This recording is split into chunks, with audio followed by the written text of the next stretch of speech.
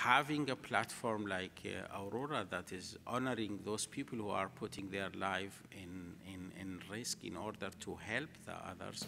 is giving you uh, definitely a kind of a very strong power to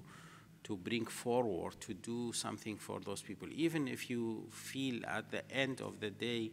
that you are just um, putting only one drop of water on a, on a hot stone but uh, I think if we have that hope and say if e- each one of us uh, put one drop of water on that hot stone somewhere, somehow that hot, hot stone will be cold.